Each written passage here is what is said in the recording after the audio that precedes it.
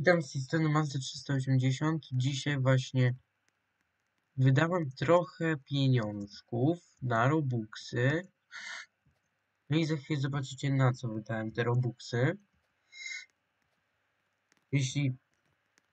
No więc, wydałem na tego skina. Widzicie go? No jest bardzo fajny.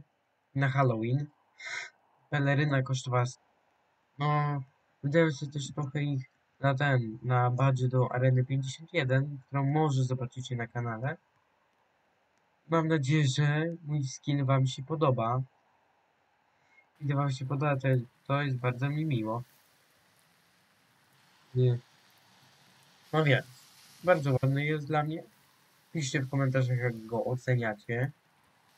I widzimy się w następnym odcinku. Cześć.